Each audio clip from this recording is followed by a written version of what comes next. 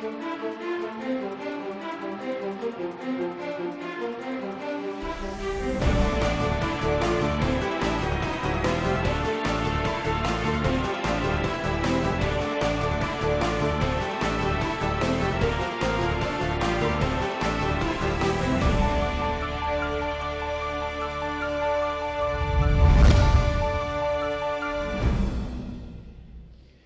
با سلام به شما عزیزان. در ایران هر کجای ایران که هستید و هر کجای این جهان گذرا که در این ساعت به تماشای تفسیر خبر نشستید. جمشید چالنگی هستم از واشنگتن گرم و مرتوب با شما خواهم بود در ساعت پیش رو. نگاهی خواهم انداخت به اوضاع جاری در عراق و پیامدهای آن بر عرصه داخلی در ایران در عرصه سیاسی و عرصه اقتصادی. پیش از آن نگاهی خواهیم داشت به روند مذاکرات اتمی بین جمهوری اسلامی فرستادگان جمهوری اسلامی و گروه پنج به اضافه یک و آنچه که در عرصه روابط یا بحران یا تنش بین جمهوری اسلامی و غرب به ویژه آمریکا میگذرد. ریشه های این بحران این بیاعتمادی و این تنش در کجاست؟ با من و شما هستند در انگلستان آقای رضا تقیزاده استاد دانشگاه و روابط بین الملل کارشناس نفت و روابط بین الملل و در نیویورک آقای اوشنگ امیر احمدی استاد دانشگاه و تحلیلگر سیاسی. با شما عزیزان خواهیم بود تا لحظاتی دیگر.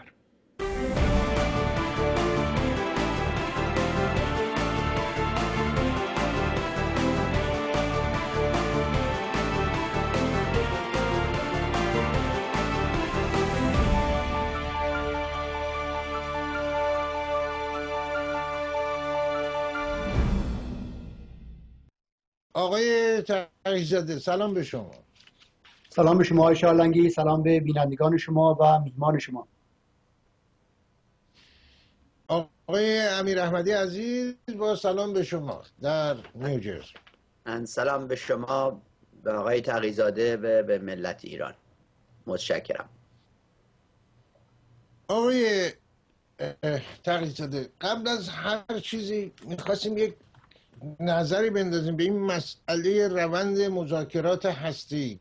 که به نظر میاد اون چی که در وین هم اخیرا بوده به نتیجه مطلوبی نرسیده. یعنی مقدمات توافقی که قرار بود پیش بینی می‌شد در 20 ژوئیه به نحوی بهش برسه.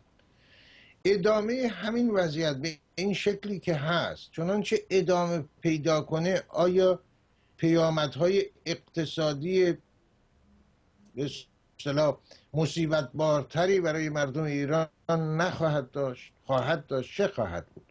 آنچه که ببینید آقای چالنگی بایستی به مسئله یک نگاه عملگرایانه داشته باشیم. در وضعیت فعلی هیچ گمانه دال بر اینکه مذاکرات به نتیجه کلی حداقل نمی‌رسه وجود نداره. بنابراین باید انتظار داشته باشیم که تلاش های دو طرف یعنی ایران آمریکا حتی بدون داشتن شکل تبلیغاتی در مسیر مورد نظر اونها جلو بره. بازار ایران هم با وجود سکوت خبری از طرف مقامات رسمی بازتابش نسبت به روند مذاکرات اتمی نسبتا مثبت است. وقایعی که در عراق پیش آمده حضور نفت ایران رو در بازارهای جهانی جذابتر از پیش کرده. این جذابیت برای اقتصاد ایران هم می‌تونه منافعی رو در برداشته باشه. ضمن اینکه می‌تونه باعث برگردوندن عامل تعادل به مناسبات نفتی و بازارهای نفتی باشه.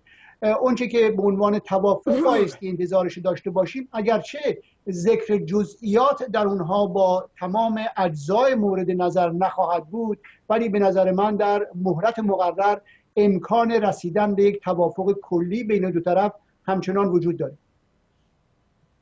تفسیر شما رو میشتم آقای من فکر می که البته فعلا ما روی همون واقعا پنجا پنجا هستیم. یعنی امکان این که حتما موفق بشم نیست. ولی احتمال اینکه موفق بشن به یه نتیجه کلی برسن پنجا پنجا است. و مشکل اینجاست من فکر می‌کنم که اگر قرار ایران و امریکا به یک معامله بد برسن معامله بد با تعریفی که مثلا ناسیونالیست های ایران از یه معامله خوب دارن. اون وقت دولت جمهوری اسلامی ممکنه نه تنها از اون معامله سودی نبره صدمه هم ببینه. بنابراین طبیعت اون معامله خیلی مهمتر از خود معامله است.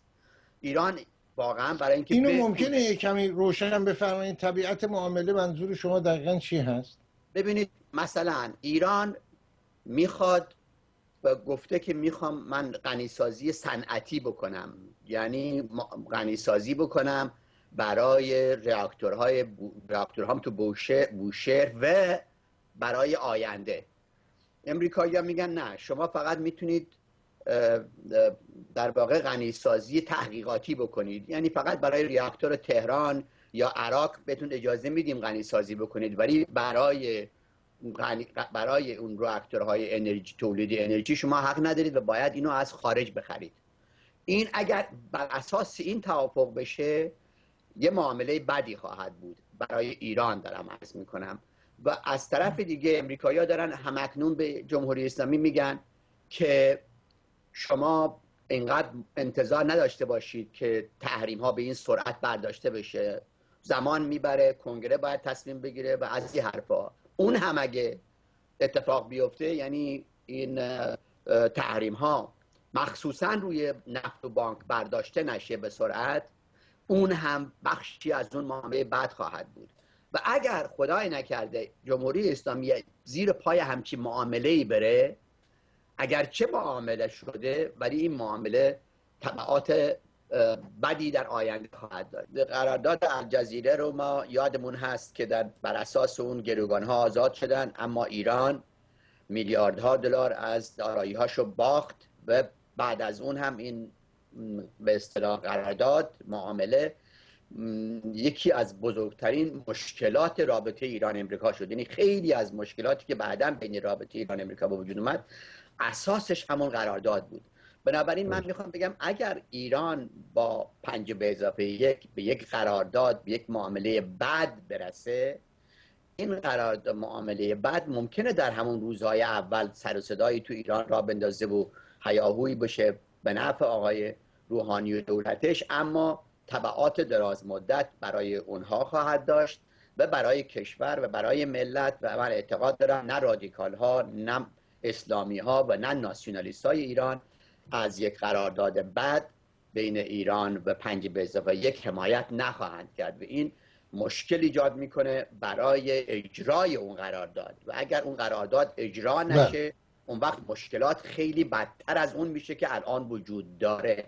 من خودم فکرم اینه که یک قرارداد بعد بدتر از نداشتن یک قرارداده. و اگر ایران و امریکا قرار با هم یک قرارداد امضا بکنن اون قرارداد باید حتما قرارداد خوبی باشه. یک قرارداد خوب برای ایران معناش اینه که غنیسازی صنعتیشو حفظ می‌کنه و تحریم ها هم میرن برای امریکا هم یک قرارداد خوب معناش اینه که جمهوری اسلامی برای ابد از ساختن انرژی بمب اتمی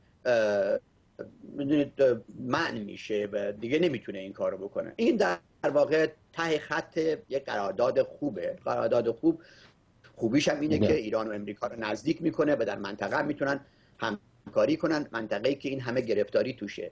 اگر خدای نکرده قرارداد نشه یا از اون بدتر قرارداد بعدی امضا بشه باور کنید نه فقط هیچ اتفاقی نمیفته در دراز مدت مشکلات عظیمی هم برای بله. کشور هم برای حکومت هم برای منطقه ایجاد می‌کنه. آقای تقیزاده یک قرارداد خوب یا اونطور که آقای امیر احمدی میگن یک معامله خوب بین ایران و آمریکا که هر دو طرف راضی باشن به سود منطقه باشن یک امکان پذیر هست. دو چگونه می‌تونه به توافقی اینچنین دست پیدا کنن؟ تفسیر شما درباره اون چی که آقای امیر احمدی گفت در مورد معامله بین ایران و آمریکا. من با دیدگاه آقای دکتر امیر احمدی در مورد یک قرارداد خوب با آمریکا کاملا مخالف هستم. من تصور می‌کنم که ایران از ابتدا وقتی داخل این گفتگوها با گروه پنج برابر یک شد باید مدلی شبیه آفریقای جنوبی رو انتخاب می‌کرد و بخش نظامی فعالیت های اتمی خودش رو بدون پیش شرط واگذار می‌کرد. در فارسی یک ضرب المثل داریم میگیم نمکگیر کردن طرف. و اگر این اتفاق میافتاد و ایران واقعا و بدون داشتن یک برنامه دوم و سوم برای پوشاندن اقدام اول بخش نظامی اتمی خودش رو واگذار می‌کرد قادر می‌شد ظرفیت های موشکی خودش رو حفظ بکنه و بعد در طول مذاکرات ثانوی می‌تونست ادامه غنیسازی اورانیوم به یک شکل خاص در ایران رو هم زمانتش رو از اونها بگیره. آقای دکتر امیر احمدی تعریف مشخصی از تولید اورانیوم غنی سازی شده با ظرفیت صنعتی نمیدن. این ظرفیت بخش خاکستری این مذاکرات بخشی است که قابل گفتگوست شما نمی‌تونید بگید که آیا فعالیت صنعتی برای تولید غنی سازی با 3000 سانتریفیوژ یا با 30000 سانتریفیوژ آیا با سانتریفیوژ های نوع پی یک قدیمی با تکنولوژی 40 سال پیشه؟ یا سانتریفیوژ هایی که با چهار برابر یا پنج برابر یا حتی شش برابر سانتریفیوژ های پی یک می‌تونن یل داشته باشن می‌تونن بازده داشته باشن و حفظ سه یا چهار هزار دستگاه سانتریفیوژ از نوع تازه می‌تونه ایران رو حتی در مرحله تبدیل شدن به یک نیروی نظامی اتمی هر موقع ایران اراده سیاسی بکنه قرار بده. ایران مسائل پیچیده است که فقط اطلاف وقت می‌کنه ولی هشدار من این است که در ازای این اطلاع وقت اون که ایران به دست میاره تقریبا نزدیک به هیچه در حالی که زیانهای کلان اقتصادی همچنان اقتصاد ملی ایران صنعت نفت و صادرات نفت و توسعه ظرفیت گاز رو زیر فشار خورد کننده حفظ می‌کنه. آقای تقیزاده معتقد هستند امکانش کم هست انجام یک قرارداد یا یک تعامل یا یک معامله به گفته شما معامله خوب بین جمهوری اسلامی و آمریکا. نظر ایشون شنیدید؟ تفسیر شما رو میشنویم آقای بله من نگفتم که این حتما می‌تونه اتفاق بیفته. عرض کردم در بهترین شرایط پنجا پنجا است عرض کردم یک معامله خوب اگه بشه بهتر از, از یک معامله بده. حالا ببینید معامله خوب آقای, آقای تقیزاده صحبت از تعداد سانتریفیوژها و اینا کرد. ببینید یک غنیسازی صنعتی در رابطه با ایران معناش خیلی ساده است. ایران یه دونه ریاکتور داره در بوشهر که بالاخره یه روزی باید خودش سوختش تأمین کنه. حالا دو سال پنج سال چهار سال دیگه و یه تعداد ریاکتور داره می‌سازه یا می‌خواد بسازه که اون هم باید خودش تأمین کنه. بنابراین در واقع قرارداد خوب به ایران این اجازه میده که غنیسازی بکنه برای این ریاکتورها. اما بحث سر تعداد سانتریفیوژا نیست. ببین هر بحث سر یک واحد سوخته به نام SWU یعنی شما مثلا برای بوشهر بوشهر شما صد هزار SUV می‌خواد که کار بکنه.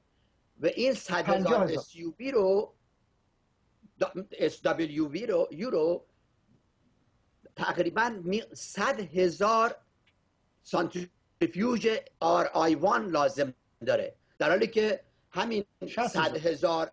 SW رو با 20 هزار IR2 سانتریفیوژ IR2 میشه تامین کرد. بنابراین مسئله تعداد سانتریفیوژ فقط نیست نوعشونه ولی مشکل مهم اینه که اون SWU ای رو که ایران لازم داره برای هر یک از این reaktوراش تأمین بشه. حالا من خودم یعنی به چی بشه؟ یعنی ارتباط این چیزی که میفرمایید قطعاتی به اون معامله مورد نظر شما چی هست؟ یا قرارداد هست؟ درون آقای چالاگی من از آقای دکتر احمدی یک سوال دارم هر موقعی که به من وقت بدید من این سوال مطرح همین مختصری بفرمایید تموم بفرمایید که بعد سوال آقای ترزده است. بحثایی که الان در پنج به اضافه یک به ایران وجود داره واقعا همین بحثیه که من دارم الان عرض می‌کنم. این بحث باتم لاین تای خط بحث مشکل این دو طرف اینه که امریکایی یا پنج به اضافه یک میگه ایران باید برای اون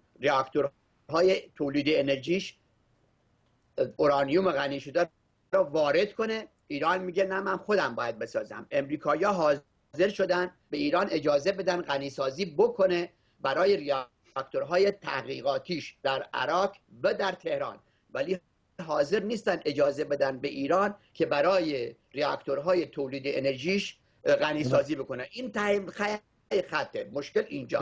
حالا همونجوری که عرض کردم برای اینکه این اجازه را بهش بدن بحث SWU مطرحه. نه تعداد فقط سانتریفیوژا. و اون رقم های خیلی بالایی از سانتریفیوژا می‌خواد که به همین دلیل امریکا نگرانه. برای اینکه اون تعداد سانتریفیوژا که اون همه SWU تولید بکنه می‌تونه در این حال در جهت ملیتری مثلا نظامی هم بره. و اینجا مسئله است.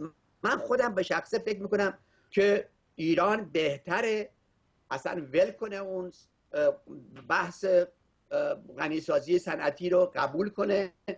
بره ساده وارد کنه اینو برای اینکه در دراز مدت براش هزینه کمتر و مشکلات کمتری خواهد داشت که این یورانیوم غنی شده رو وارد کنه تا خودش تولید کنه و اینکه اصلا ایران نه معدنش بنز کافی داره نه غرب می‌تونه اجازهش می‌تونه بده این همه به باز عمل بکنه. مسائل آقای تقیزاده در همین مورد روشن کرده که تعریف شما از قرارداد یا معامله خوب چی هست؟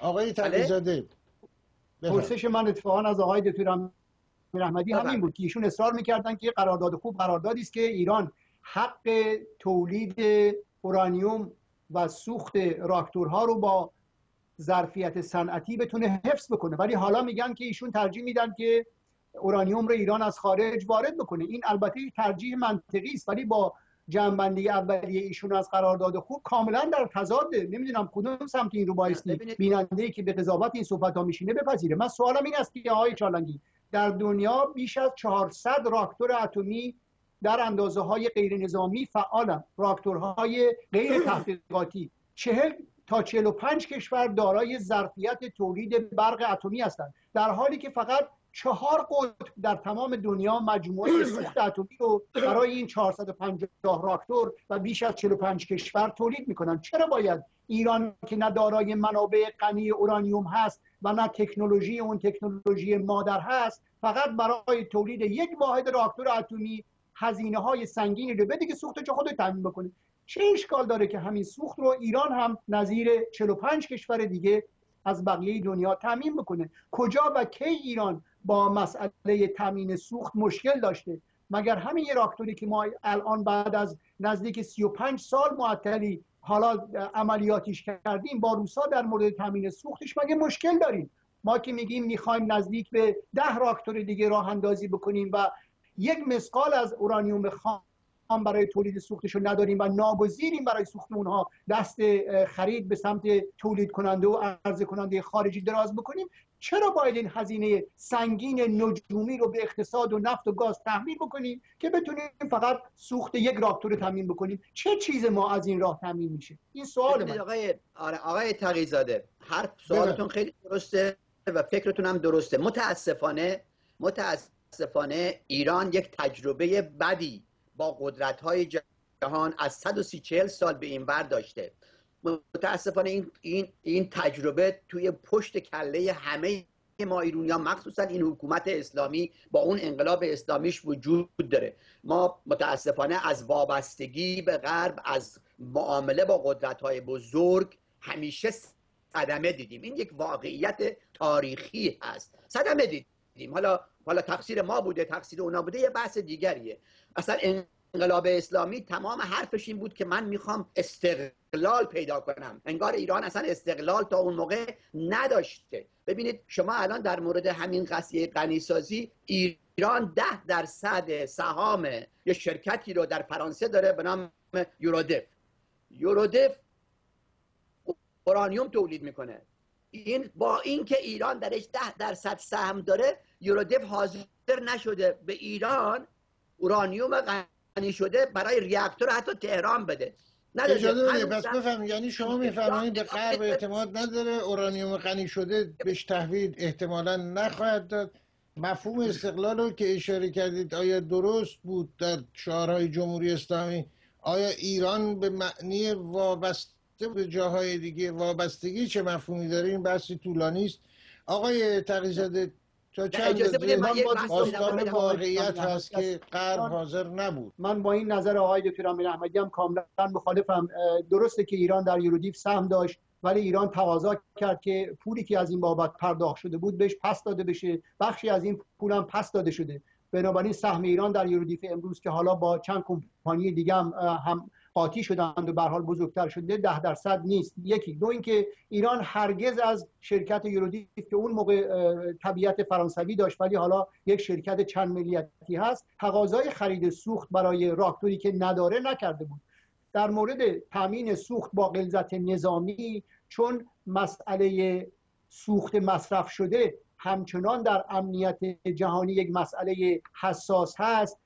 واگذار شده بود به توافقی که ایران با روسیه و فرانسه انجام میده تا بتونن اون سوخت رو با یک توافق برای پس دادن پسمانده سوختی پس دادن سوخت مصرف شده به انجام برسونن. و فرانسه موافق این قضیه بود ولی توافق در دولت آقای احمدی نژاد به نتیجه نهایی نرسید. ایران اصلا غیر از راکتور آزمایشگاهی تهران راکتور دیگری نداشت که نیازمند سوخت باشه و برای خرید سوخت به اورودیف مراجعه بکنه. ضمن اینکه اورودیف کشور کمپانی فرانسوی نیست یک کمپانی چند ملیتی است. ولی تنها این اورودیف نیست که سوخت میفروشه. ایران طرف تامین سوخت راکتور اتمی بوشهرش روسا هستند و روسا سه سال قبل از عملیاتی شدن راکتور سوخت مورد نظر ایران رو تامین کردند و به ایران تحویل دادن به علت داشتن این ذهنیت تیره تحمل کردن صدها میلیارد دلار زیان به نظر من کاری است کاملا ورای عقل.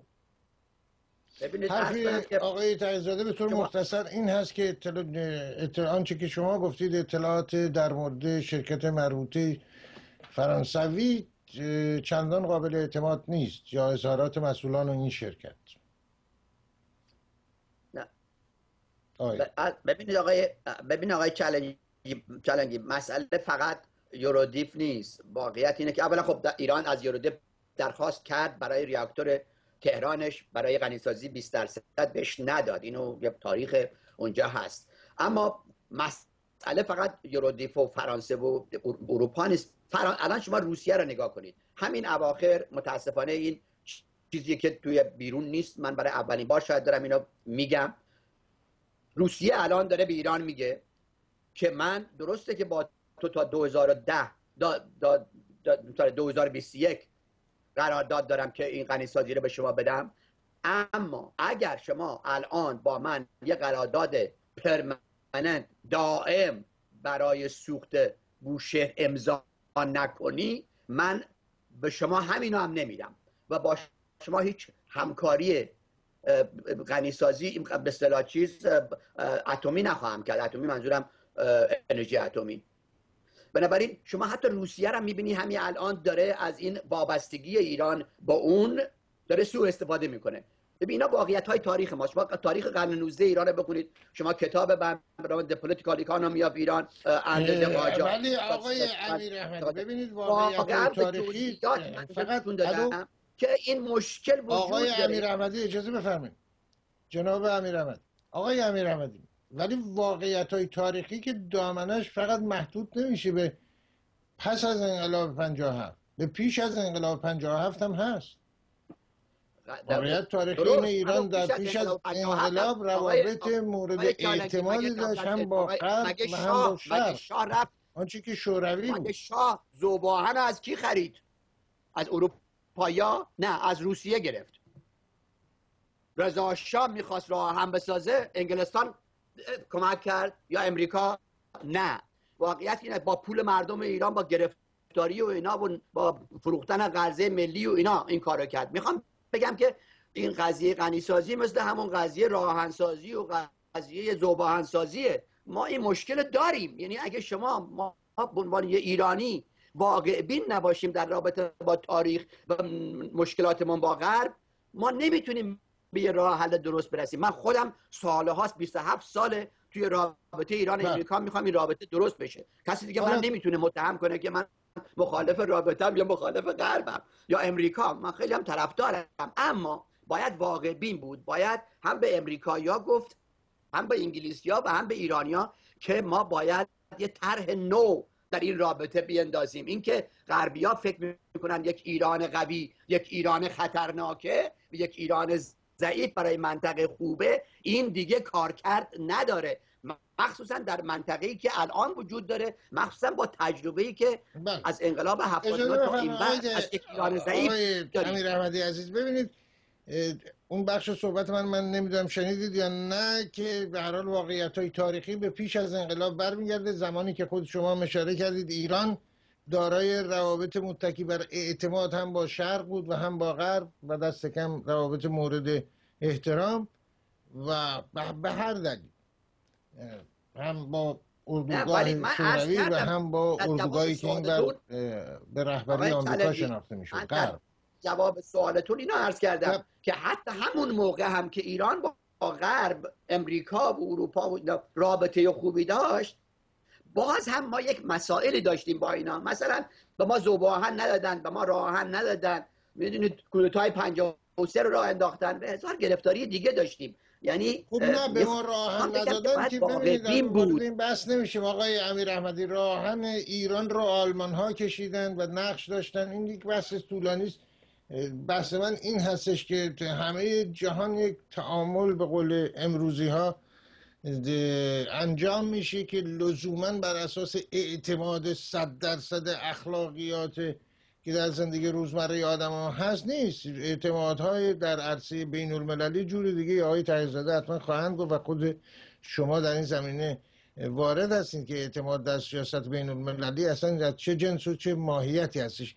از این مسئله بگذاریم آنچه که آقای اه، تغییرزاده باعث شد وضعیت قبل از انقلاب وضعیت ایران در عرصه بین المللی قبل از انقلاب به وضعیت امروز تبدیل بشه همینی که آقای امیر احمدی الان داره بهش اشاره می‌کنه. این ناشی از عملکرد غرب بود یا عملکرد رژیم انقلابی ایران بود یا هر دو چه بود؟ چه چیزی باعث شد؟ یه همچین وضعیت پیش بیاد که آقای امیر احمدی بهش اشاره کرده در ارتباط با ایران. آقای چارلنگی اکثریت مردم ایران البته این که میگم شاید یک اظهار نظر اکادمیک نیست مستند به آمارگیری درستی نیست ولی من و شما این متر افکار عمومی مردم رو در اندازه های خودمون در دست داریم. اکثریت مردم در داخل ایران اعتقاد دارن که انقلاب اسلامی ای از اه، دانشگاهی ها با مدارک مثبت این رو استدلال می‌کنن. انقلاب اسلامی با کمک های غرب با همراهی اروپا با حمایت آمریکا با خونسا کردن ارتش ایران به نتیجه رسید. انقلابی که با کمک کشورهای خارجی به قدرت می‌رسه طبیعتا مورد حمایت اونها هم هست. ولی از لحظه به دست گرفتن قدرت آقای خمینی به دنبال صدور انقلاب با زور بود. آقای خمینی در ایران جوخه های اعدام رو برپا کرد. به جای استقرار یک حکومت ملی یک حکومت جامع حکومتی که در درون اون همه اقلیت های فکری مذهبی نژادی دارای حق برابر باشند حکومت خودکامه اسلامی رو برپا کرد. همون چه که امروز ما نمونهش رو در بخش شرقی غربی عراق به دست داعش می‌بینیم. اون چی که امروز در نتیجه خودرایی آقای مالکی عراق رو به اون که امروز هست رسونده. این بدعت رو آقای خمینی گذاشت و در نتیجه صدور انقلاب با زور در نتیجه برپا کردن جوخه های اعدام برای از میان بردن مخالفت های داخلی یا دگراندیشان برای آباد کردن بهشت زهرا برای بزرگ کردن زندان ها و امان کردن اونها از کسانی که دگراندیش بودند. راهی رو آغاز کرد که به حمایت از تروریسم بین المللی انجامید در ایران کنفرانس های صدور انقلاب رو تحت عنوان حمایت از جنبش های آزادی بخش برپا کرد و بعد دیدیم که جوخه های ترور آقای خمینی از واشنگتن تا پاریس تمام مخالفان جمهوری اسلامی رو ترور کرد و نابود کرد و ضمنا در درون هم ما شاهد قطعهای زنجیره‌ای بودیم. در سیاست خارجی با صلح عرب اسرائیل مخالفت کرد. که همچنان بر اون اصرار میورزه و اصرار می‌کنه که جمهوری اسلامی بایستی که حامی مردم فلسطین باشه حتی اگر اونها موافق صلح با عرب هستند بنابراین حمایت کشورهای منطقه رو در درجه اول و حمایت جامعه جهانی رو در درجه بعد از دست داد. نه آقای دکتر امیر احمدی انقلاب با کمک غرب با حمایت غرب و آمریکا به قدرت رسید ولی با نمک نشناسی و با رفتن به راه غلط حمایت مردم منطقه مردم ایران رو در داخل کشور و حمایت جامعه جهانی را از دست داد. بنابراین جامعه جهانی اعتماد نمی‌کنه به جمهوری اسلامی که اگر میگه من می‌خوام سوخت تولید بکنم برای راکتور مطمئن باشه این سوخت برای تولید بم نیست. شنیدید آقای امیر احمدی پاسخ شما رو میشتمیم غرب حمایت کرد. از آیت الله خمینی به قدرت رسون آیت الله خمینی و همراهانشو اما نمک نشناسی کرد.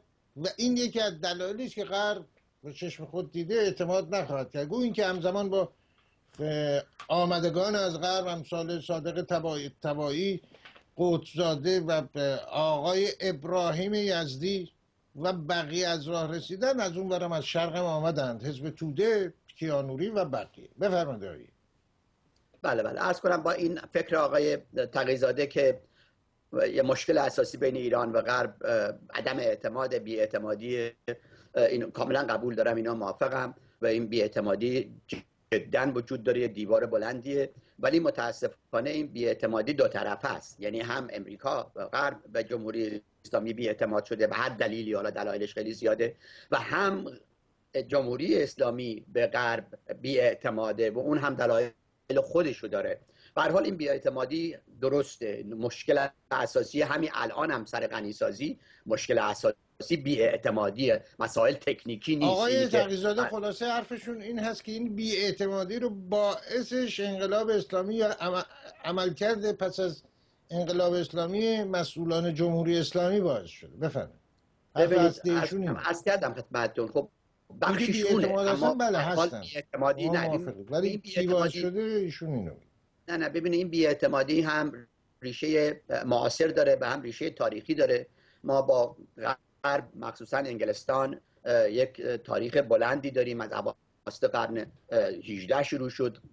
خیلی با جدیت اوایل قرن 19 و بالاخره این مسائل ما می‌دونیم. تاریخ ایران رو دقیقا ما خوندیم و می‌دونیم مشکل چیه. با امریکا هم تا 2150 و چند مشکلی نداشتیم. با کودتا مثل مسائلی پیدا کردیم. با امریکا. به حال ریشه های این بیاعتمادی هم تاریخی هم معاصر هم طرف اجازه بفرمایید آقای تقیزاده چون میبخشید آقای امیر احمدی چون اینجا الان ما برمیگردیم به یک موضوع بسیار بسیار حساس. آنچه که در 28 مرداد ما اتفاق افتاد به گفته شما کودتا و بسیاری به گفته بسیاری دیگه قیام یا هر چی که اسمش بزنید ببینید بی اعتماد هست. فرض کنیم ملیگرایان ایران به غرب بی اعتماد هستن. بس فرصت این هست که آیا جنس بی اعتمادی یکیه؟ اگر حکومت فعلی ایران نسبت به غرب بی اعتماد هست آیا واقعا از همون جنس هواداران دکتر محمد مصدق هست؟ از همون جنس هواداران محمد رضا شاه پهلوی پادشاه فقید ایران هست و روانشاد دکتر مصدق؟ که دوست آمریکا بود ولی دید خب در لحظه موعود هواداران پادشاه ایران معتقد هستن که آمریکا پشت دوستشو در منطقه خالی کرد. ببینید از یک همین چون نگرانی اون گروه ها اون دستا اون جماعت هر چه اسمشو بذارید ناشی از نگرانی که چشمی به منافع ملی داره.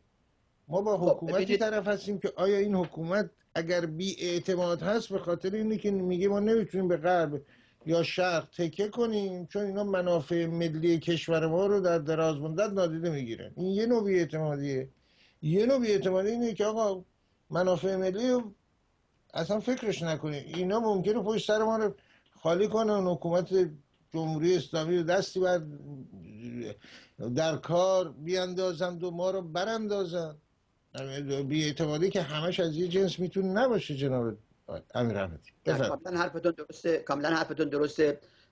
این طبیعت این بیاعتمادی در جمهوری اسلامی و در زمان شاه یا با مصدق متفاوته و کاملا این حرفتون رو قبول دارم. اما به حال هر طبیعتی این داره این مشکل وجود داره. ببینید آقای تقیزاده اگه تئوریشو قبول کنیم که امریکا و غرب باعث شد که شاه سرنگون بشن به حکومت بیاد این خودش خب درسیه برا ما که آقا چجوری میشه یه حکومتی مثل شاه که این همه دوست بود با غرب به این همه بهشون خدمت کرد باز هم بهش پشت پا زده شد.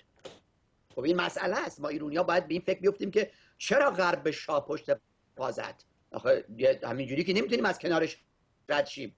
من اصلا اساسی دارم. من همیشه اعتقاد داشتم دلیل اصلیش اگر این اتفاق افتاده برای این بوده که غرب از یک ایران قوی بدش میاد. و اصولا همیشه دوست داره ایران ضعیف بمونه. خب این یه تئوری من روش هم زیاد مانور دادم نوشتم اینا. ولی بحث امروز ما همین بحث بیاعتمادی به رابطش با مسئله غنیسازی یا همین مذاکراتی که در وین در جریانه. واقعیت اینه که تا وقتی که ایران به امریکا مخصوصا این دو با هم اعتماد سازی نکنن به این اعتماد سازی تقریبا در کوتاه مدت محاله و شاید هم تا در میان مدت محال باشه و, یا حداقل تا وقتی که جمهوری اسلامی حکومت انقلابی هست محال باشه بر حال یک مشکل ایجاد می‌کنه. و در بهترین شرایط همونجا که عرض کردم این بیاعتمادی در بهترین شرایط برای ایران یک معامله بعد تولید خواهد کرد سر مذاکرات غنیسازی و اینکه یک معامله خوب ایران از امریکا و غرب بتونه بگیره احتمالش تقریبا صفر چرا تقریبا صفره؟ برای اینکه عرض کردم اون مشکل بیاعتمادی شدید غرب نسبت به جمهوری اسلامی وجود داره و جمهوری اسلامی هم هنوز نتونسته به اون بیاعتمادی به اصطلاح چیز کنه توجه کنه یا آدم باش اونو حل کنه. و به حال ما دوچار همچه مشکلی هستیم. به قول امریکایی بله. سرکلیه.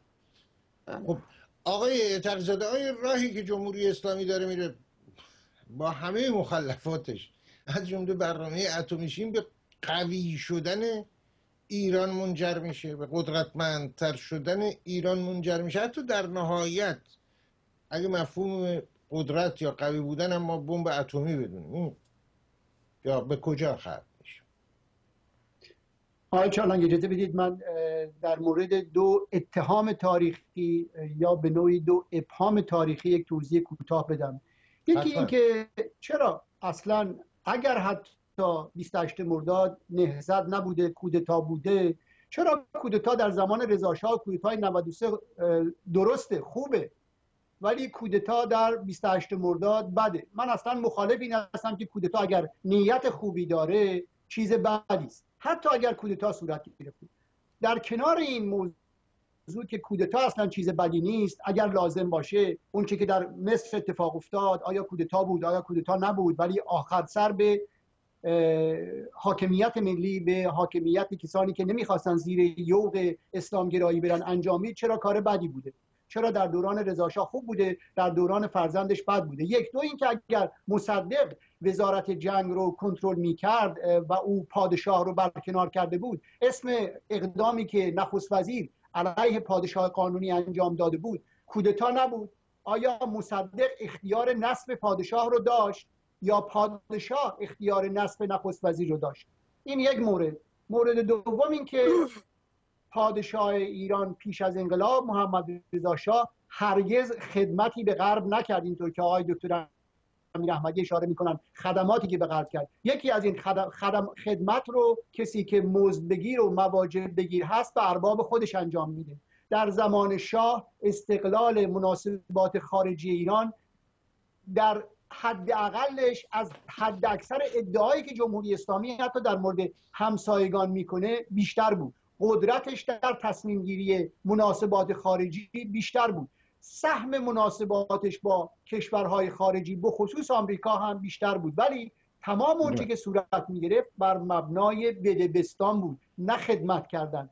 اگر کارتر اگر جانسون اگر کندی اگر نیکسون به ایران خدمت می‌کردن دولت های هویدا آموزگار هم با آمریکا خدمت کردند چی که صورت می گرفت بدبستان بر اساس حقوق ملی نه. ایران و بر اساس حق مساوی بود. به غیر از کاپیتولاسیون که یک موضوع بحث انگیز است آقای امیر احمدی یک مورد رو که شاه به آمریکا خدمت کرده بگن من هم به اون گردن می‌گذارم. در دوران شاه اوج استقلال سیاست خارجی ایران سیاست مستقل ملی ایران و شباهتش با سیاست های دوگل به منصه ظهور رسید. مردم اون رو شاهد بودند و مردم ایران احساس غرور می‌کردند که یک ایرانی هستند و پاسپورتشون رو به چارگوشه دنیا که میبردن به عنوان یک شهروند ایرانی از اونها با احترام استقبال می‌کردن. پادشاه ایران دولت های ایران اوج مناسبات سیاسی تجاری اقتصادی رو با دنیای غرب داشتن معامله می‌کردن. حالا که جمهوری, جمهوری اسلامی التماس می‌کنه به بخشی از اون تعامل حالا دست پیدا بکنه. ببینید به طور خلاصه اگه بفهمیم ممنون میشم. پاسخ پرسش اولیه من که وضعیت راهی که اکنون جمهوری اسلامی میره. آقای امیر احمدی اشاره کردن. این غرب مخالف قدرتمندتر شدن ایران یا قدرتمند شدن ایران هست. آیا راهی که جمهوری اسلامی میره منجر به قدرتمند شدن ایران خواهد شد؟ نه اولا از اصل این به قول فرنگی ها پاسچوله از این فرضیه بایستی شروع بکنیم که غرب چرا باید با جمهوری اسلامی اگر جمهوری اسلامی یک حکومت متعارفی است اگر یک دولت عادی است اگر شبیه ترکیه هست اگر شبیه کره جنوبی است چرا باید با اون مخالفت بکنه ولی آمریکایی ها غرب کشورهای همسایه همونطور که با داعش سر مخالفت دارن همونطور که با طالبان سر مخالفت داشتن با جمهوری اسلامی پدر و مادر طالبان و داعش هم سر مخالفت داشتن. چرا؟ چون که جمهوری اسلامی در طبیعت خودش علیه صلح منطقه است خودگراست بله. خودکامه است و همین خودکامگی و افراد طلبی در مناسبات داخلی و خارجیش طبیعتا وادار کرده و همون ترتیب که الان کشورهای خارجی با چالش با داعش می جنگن با جمهوری. اسلامی هم بجنگن. وگرنه با جمهوری اسلامی و به قدرت رسیدن چه مخالفتی داشتن؟ چرا با ترکیه مخالفت نیستن که کشور مسلمانی است و باید با جمهوری اسلامی مخالف باشن؟ ولی آیا جمهوری اسلامی در نتیجه ادامه وضع موجود ایران رو به قدرت میرسونه؟ نه خیر به فلاکت میرسونه. و ضعف تدریجی اون چیزی که امروز ما در وجود ایران و نحوه عملکرد نمایندگانش در ارتباط با کشورهای خارجی می‌بینیم. اقتصاد خود مردم پیشکش اونها که برای در دوا و درمان هم نیازمند کمک های خارجی هستند و همین روزها بود که وزیر تجارتشون به عنوان نشانه پیشرفت گفت ما دکانهایی که تا به حال لباسهای دست دوم مردم خارجی رو می آوردن می‌خوایم ببندیم. چیزی که در مثلا فقیرترین محله پاکستان صورت می گرفت مردم لباس های کهنه اروپایی ها رو می بردن به عنوان اعانه می پرداختن حالا به عنوان سوغات در مغازه ها و بوتیک های ایران میفروشن. درجه فقر و ضعف ایران به اونجا رسیده. آقای چالنگی چطور می‌تونه جمهوری اسلامی مدعی باشه که در نتیجه ادامه وضع موجود ایران رو قوی تر می‌کنه؟ نه قدرت از کیسه پول میاد و ایران پیش از این هم مستقل بود و هم پولدار و حالا هم غیر مستقل و هم فقیر و بدبخت. آقای ترزاده در مسیر بحث نبود اما پیش آمد رویدادهای 28 مرداد سوم اسفند روی کار آمدن رضا شاه پهلوی. این مسئله امیدواریم یا این موضوعات رو در برنامه های دیگه بپردازیم اما درباره 28 مرداد که نزدیکتر هست بینندگان ما می‌تونن به کتاب های مختلف رجوع کنن. از جمله تحقیقات پژوهشگر مقیم استکهلم سوئد آقای سعید رهبر در این زمینه و پژوهشگر ایرانی مقیم پاریس آقای علی میر فتروس و طبعا تحقیقات دیگه هست. در پژوهش های این دو پژوهشگر ایرانی مدارک و اسناد و سخنان تازه‌ای می‌توان یافت درباره رویداد 28 مرداد. آقای امیر احمدی عزیز حکومت ایران بسیار امیدوار بود که در ارتباط با اوضاع داخلی عراق پس از ظهور داعش در صحنه که خیلی هم معتقدن خود تهران دستی در حمایت از داعش داره درست یا نادرست این بعدها روشن خواهد شد. امیدوار بود که واشنگتن دست نیاز همکاری به سوی تهران دراز کنه برای اوضاع عراق در اوضاع عراق. این رو شما چطور می‌بینید و چطور تفسیر می‌کنید؟ یک زمزمه هایی هم شد که البته می‌دونید کنگره مخالفت کرد در اینجا. بله ارز کنم که طرف ایران البته این زمزمه از طرف آقای روحانی مطرح شد به حکومتش ولی از همون اولش آقای خامنه ای به سپاه باش مخالفت کرد و سپاه اصولا به آقای خامنه ای هدفش این نیست که به طور واضح و روشن بره.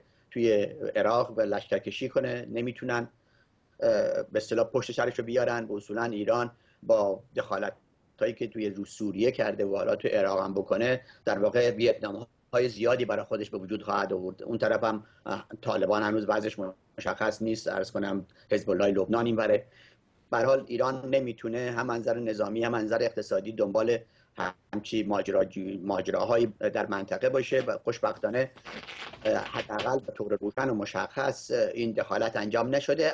اما سپاه و مخصوصا نیروی قدس همون جوری که در گذشته عمل می‌کرده امروز هم با یک شدت بیشتری داره هم در عراق و هم در سوریه به با علیه مخالفین عراق یعنی الملکی اونجا اسد داره فعالیت می‌کنه و داره مهمات زیادی داره میفرسته نیروهای زیادی فرستاده ولی نیروهایی که بیشتر به یه شکلی مثلا راهبردی هستن تا مثلا بله. پیاده نظام به حال این اتفاق داره میفته و من خودم به شخص خوشحالم که حداقل تا این مقطع ایران وارد این دعوای عراق نشده این دعوا برای امنیت ملی ایران خیلی مشکل خواهد من فکر کنم ایران باید مرزهای خودش رو مسدود کنه باید مرزهای خودش رو تقویت کنه و بشینه پشت صحنه و اون کارهایی که تا حالا می‌کرده در عراق بکنه. عراق 65 درصد شیعه است. خود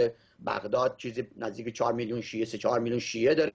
اینا حتما می‌تونن از از مقدسات خودشون دفاع کنن از کشور خودشون دفاع کنن. اگه نمی‌تونن هم خب مشکل خودشونه و ایران ایران که مسئول دنیا نیست. بنابراین در این مقطع اعتقاد دارم که اون همکاری نظامی مخصوصا که در نظر بود بین ایران به امریکا پیش بیاد پیش نخواهد اومد و نیومده. اگرچه پشت صحنه دارن همکاری های اطلاعاتی می‌کنن همکاری های استراتژیک می‌کنن حتی گاهی لاجستیک می‌کنن. اما این همکاری در اون چارچوب نظامی بله. وسیع که مطرح بود اتفاق نیفتاده و به نظر منم نخواهد افتاد. من اعتقاد دارم داعش نیروی به اون بزرگی نیست که که این همه در موردش حرف زدن و گندش کردن و اعتقاد دارم که خود ملت عراق می‌تونن از پسش در بیان و باید بتونن در بیان. اما واقعیت عراق اینه که چه بخوان چه نخوان این کشور عملا ستیکه شده.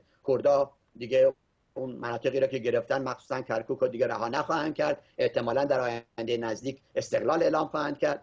ارز کنم که در سنی ها هم هایی که دارن احتمالا می‌ذارن داشته باشن و شیعه هم کار خودشو بکنه. در واقع یک همچین حالتی دیپاکتو به قول غربیا عراق ستیکه خواهد شد اگرچه به طور رسمی ممکنه دولت مرکزی اینو نشناسه. مشکل اساسی عراق خود آقای الملکی گفتم آقای امیر احمدی ببینید شما این نکته اشاره کردین. آقای تقیزاده پرسش من از شماست. آقای امیر احمدی میگن که ایران وارد مسئله عراق نشده یا وارد این بحران.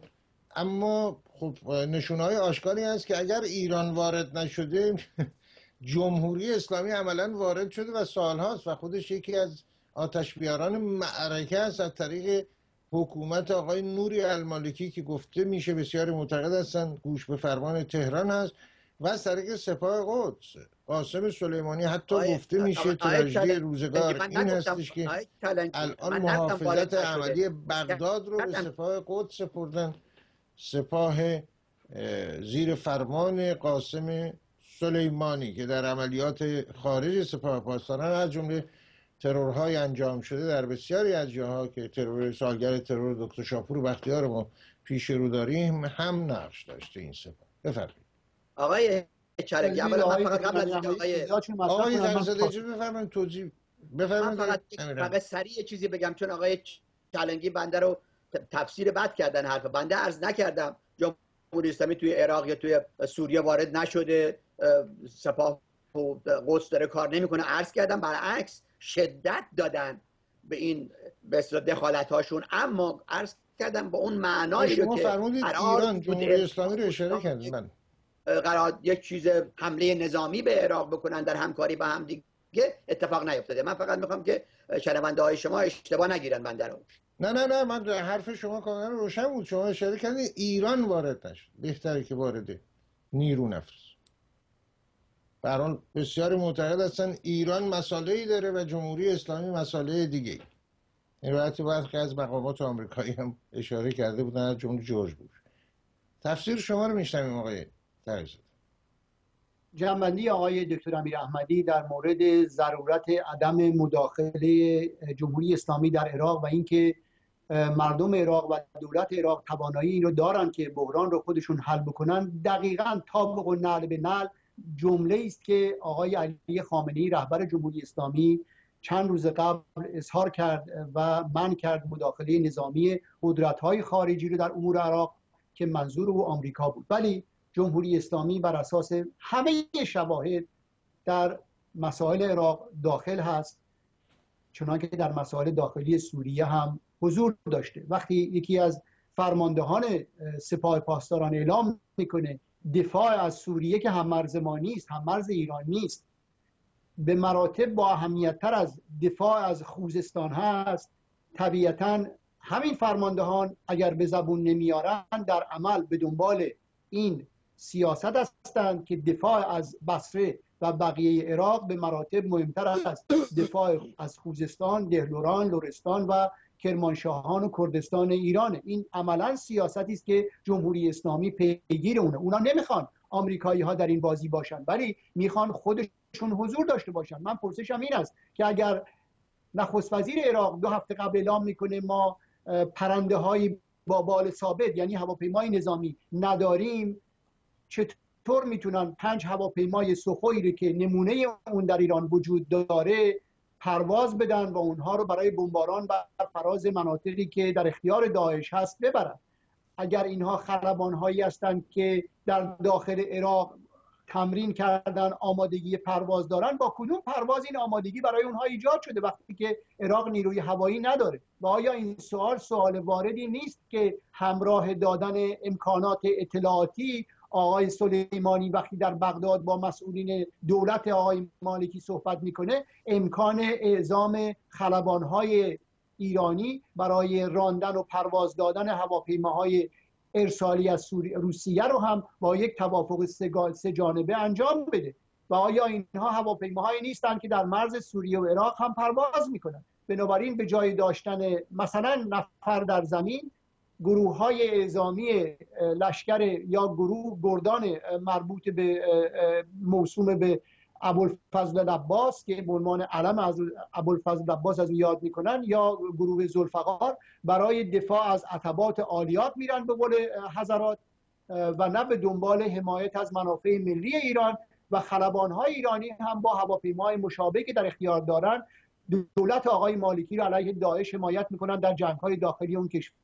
ولی اگر این مداخله ضرورت می داشت برای دفاع از منافع ملی ایران می بود برای دفاع از ذخیره های کانی ایران می بود ایران نزدیک به سی درصد از منابع نفتی خودش رو با دولت عراق که روابط نفتیش در طول سه چهار سال گذشته نه تنها همکاری بلکه دشمنانه با ایران بوده با این کشور مشترکه. برای دفاع از سی درصد ذخایر مشترک نفتی نیروهای ایران بایستی برای پاسداری از این ذخایر نفتی ایران که ثروت مردم ایران هستند در اماکن لازم مستقر بشن ما درگیری های نظامی با گروه های عراقی در طول همین هفته های اخیر و ماه های گذشته داشتیم. چرا نباید اگر مداخله ای صورت می‌گیره مداخله برای دفاع از حرم آدم هایی که مورد اعتقاد شیعه هستند برای دفاع از منابع و ذخایر ملی ایران صورت بگیره؟ سپاسگزار هستیم آقای تقیزاده عزیز در انگلستان با سپاس از شما و همینطور با سپاس از شما آقای امیر احمدی عزیز. امیدواریم این بحث رو در شماره دیگه از تفسیر خبر در هفته آینده بتونیم ادامه بدیم. در برنامه فردای تفسیر خبر میهمانی خواهیم داشت از کانادا آقای دکتر رضا موریدی. که بار دیگه به مجلس به نمایندگی برای مجلس تورنتو مجلس محلی در تورنتو برگزیده شد. آقای دکتر رضا موریدی گرامی با ایشون گفتگو خواهیم داشت و مهمان دیگه برنامه که آقای ناصر محمدی خواهند بود. نگاهی خواهیم داشت به مسائل داخلی روز. آقای موریدی درباره آخرین تحولات در ارتباط با اوضاع ایرانیان در کانادا و همچنین سیاست کانادا در برابر جمهوری اسلامی در برنامه با من و شما سخن خواهند کم کم داریم به پایان برنامه می‌رسیم به همراه تهیه کننده برنامه تینای عزیز بچه های استودیو در لندن علی گرامی کارگردان فنی رامین مسئول فنی استودیو رضا گرامی رضای عزیز مسئول دوربین و از مسئولان استودیو ما در لندن به شما درود میگیم. برای شما آرزوی روز و روزگار خوشی رو داریم. آرزوی فردایی بهتر.